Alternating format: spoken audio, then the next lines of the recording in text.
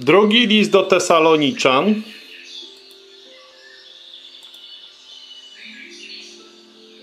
Rozdział drugi, werset jedenasty. Komentarz. I dlatego zsyła Bóg na nich ostry obłęd, tak iż wierzą kłamstwu. W jedenastym wersecie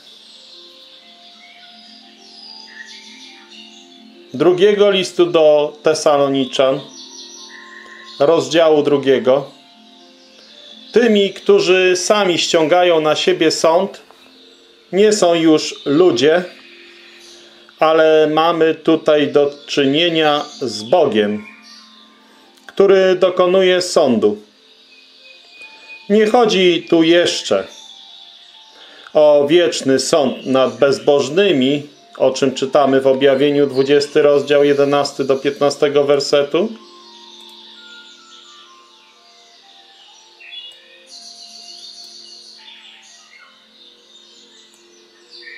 Objawienie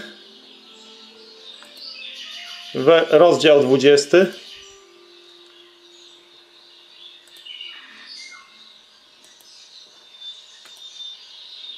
od 11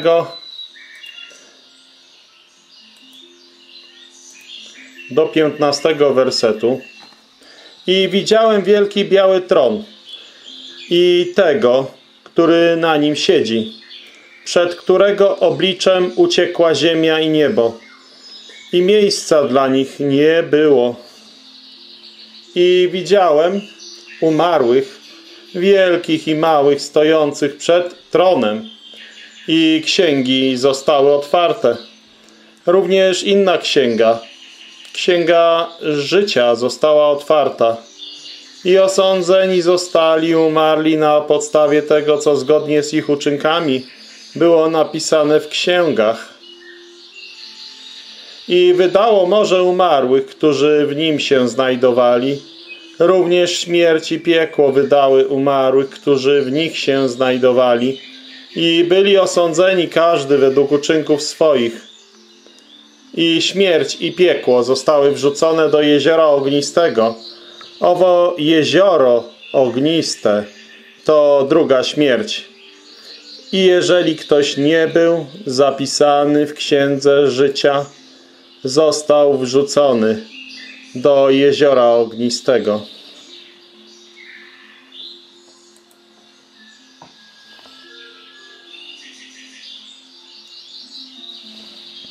Nie chodzi tu jeszcze w tym wersecie i dlatego zsyła Bóg na nich ostry obłęd tak, iż wierzą kłamstwu.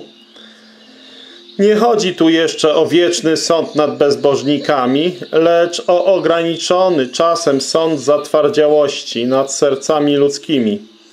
Zwróćmy jednak uwagę na to, dlaczego Bóg dokona tego sądu nad ludźmi. Nasz werset i dlatego zsyła Bóg na nich ostry obłęd, tak iż wierzą kłamstwu. Zaczyna się od słowa dlatego, a zatem wiąże się bezpośrednio z wierszem poprzednim. Właśnie dlatego, że nominalni chrześcijanie odrzucili miłość do prawdy, nie tylko pójdą na wieczne zatracenie, ale już uprzednio, to znaczy za życia ich serca zostaną zatwardzone przez Boga. Są to ludzie, którzy w czasie łaski podeptali Bożą prawdę oraz ofertę zbawienia. Zanim Bóg przypieczętuje ich los, sami już o nim zdecydowali. Chcieli mieć ciemność i otrzymali ją. Odrzucili prawdę, więc będą musieli uwierzyć kłamstwu. Nastanie wtedy czas, w którym już nie będzie mógł uwierzyć nikt, kto dzisiaj słyszał Ewangelię łaski. Na takich ludzi Bóg ześle skuteczną moc, której nie będą potrafili się oprzeć. Nie tylko dopuści do tego, że uwierzą kłamstwu, ale sam dotknie ich tym oślepiającym wpływem. wówczas pozostaną bez wyjścia, uwierzą kłamstwu antychrysta. Na czym polega to kłamstwo? Przeanalizowaliśmy już w wersecie czwartym. Antychryst sam poda się za Boga i wywyższy się ponad wszystko, co jest godne czci. Bóg zmusi ludzi, którzy dzisiaj wzbraniają się oddawać cześć Jemu i Jego Synowi do oddawania czci diabelskim mocom. Jest to sąd Boży.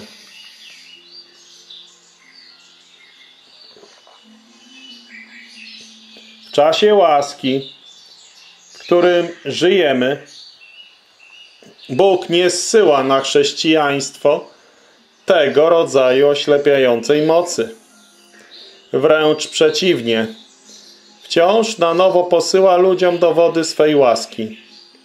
Pracuje nad ich sercami, aby przywieść ich do pokuty. To nie wyklucza oczywiście tego, że Bóg już dzisiaj może zatwardzić serca poszczególnych ludzi jeszcze za ich życia. Klasycznym przykładem jest Faraon. Niemniej jednak również w jego przypadku zatwardzenie przez Boga było wyłącznie skutkiem tego, iż to on sam zatwardził swoje serce. Najpierw Faraon sam zatwardził swoje serce. Dopiero kiedy stało się jasne, że nie zamierzał usłuchać słów Mojżesza, Bóg zatwardził jego serce tak, że Faraon nie mógł już zmienić swojej decyzji. Tego rodzaju postępowanie Boga w sądzie znajdujemy w kilku różnych miejscach Słowa Bożego w odniesieniu do następujących ludzi lub całych narodów. W Rzymian, pierwszy rozdział, 24 do 28 wersetu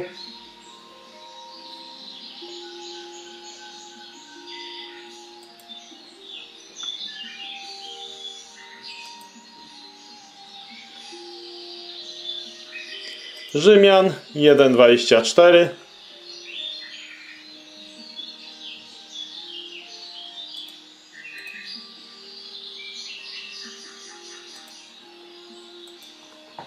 Dlatego też wydał ich Bóg na łup porządliwości ich serc ku nieczystości, aby bezcześcili ciała swoje między sobą ponieważ zamienili Boga prawdziwego na fałszywego i oddawali cześć i służyli stworzeniu zamiast Stwórcy, który jest błogosławiony na wieki. Amen. Dlatego wydał ich Bóg na łup sromotnych namiętności. Kobiety ich bowiem zamieniły przyrodzone obcowanie na obcowanie przeciwne naturze Podobnie też mężczyźni zaniechali przyrodzonego obcowania z kobietą i zapałali. Jedni ku drugim rządzą, mężczyźni z mężczyznami, popełniając sromotę i ponosząc na sobie samych należną za ich zboczenie karę. Ponieważ, a ponieważ nie uważali za wskazane uznać Boga, Przeto wydał ich Bóg na pastwę niecnych zmysłów, aby czynili to, co nie przystoi. Są oni pełni wszelkiej nieprawości, złości, chciwości, nikczemności. Pełni są również zazdrości, morderstwa, zwady, podstępu, podłości. Rzymian od 1,24 do 28 czytamy o zatwardzeniu pogan, którzy świadomie odwrócili się od swojego Boga Stwórcy. Dopiero gdy ich wina została udowodniona, apostoł Paweł mówi od wersetu 24, co Bóg czyni względem nich. Trzykrotnie jest tu powiedziane, że Bóg ich wydał. W wersecie 24 26 i 28.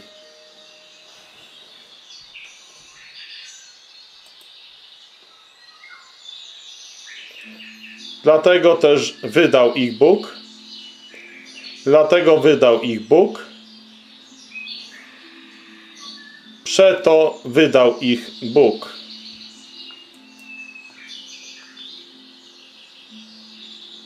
Każdorazowo owo wydanie zostaje podparte niegodziwym postępowaniem pogan. Bóg nie jest niesprawiedliwy, gdy zatwardza serca ludzkie, ale są to ci, którzy nie chcą mieć z Nim nic wspólnego. Po drugie, w Rzymian 11 rozdział Paweł rozwija szczegółowo kwestię zatwardziałości Izraela. Mówi o tym w wersetach 25 i wersecie 7.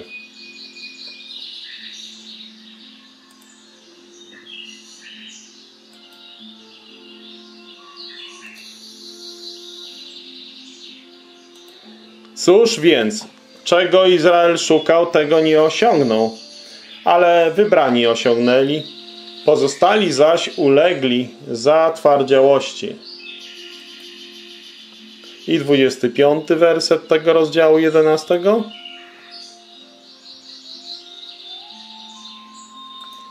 A żebyście nie mieli zbyt wysokiego o sobie mniemania, chcę wam, bracia, odsłonić tę tajemnicę zatwardziałość, zatwardziałość przyszła na część Izraela aż do czasu, gdy poganie w pełni wejdą.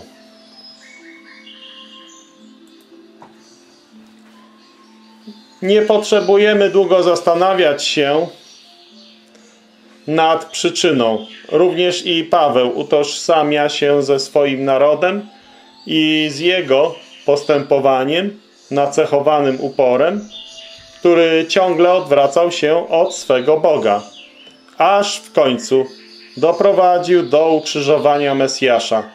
Już w Starym Testamencie Bóg musiał powiedzieć o swoim ludzie.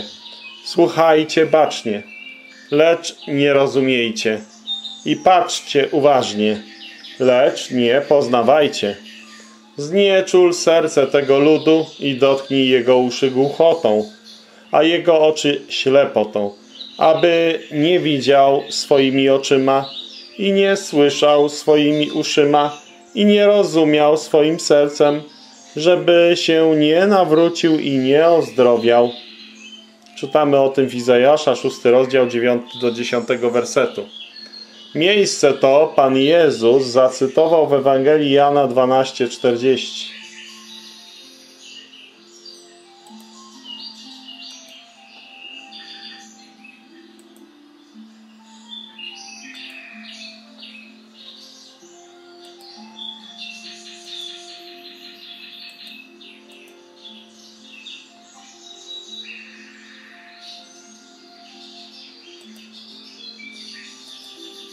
Zaślepił oczy ich i zatwardził serce ich, aby nie widzieli oczami swymi i nie rozumieli sercem swym i żeby się nie nawrócili i żebym ich nie uzdrowił. Na marginesie jest to dowód na to, że Pan Jezus Chrystus jest jedynym prawdziwym Bogiem. W Izajasza wypowiada te słowa jako Bóg Jahwech, a w Jana 12:40 mówi to Jezus, a więc Jezus to Bóg Jahwech. W naszym fragmencie Bóg mówi o trzecim sądzie zaślepienia, w tym wypadku odstępczego chrześcijaństwa. To straszna myśl, że ludzie, którzy mogli znać prawdę Bożą, zostaną poddani temu sądowi. Wtedy już będzie za późno na to, by uwierzyli prawdzie. Będą musieli uwierzyć kłamstwu. Nie będzie dla nich możliwości nawrócenia. Już za życia będzie dla nich za późno. Dzisiaj Bóg wciąż jeszcze cierpliwie czeka i oferuje ludziom zbawienie. Czy wśród tych, którzy mają okazję z nami rozważać te słowa, jest ktoś, kto może zna prawdę, ale nie przyjął jej jeszcze swoim sercem? Nie łudź się, przyjacielu. Dzisiaj możesz jeszcze uwierzyć. Jeżeli Pan Jezus przyjdzie przed Twoją wiarą, zostaniesz pozbawiony tej możliwości. Wtedy będziesz zmuszony dać wiarę kłamstwu i pójdziesz na wieczne zatracenie. Nie pozwól, proszę, aby sprawy zaszły tak daleko.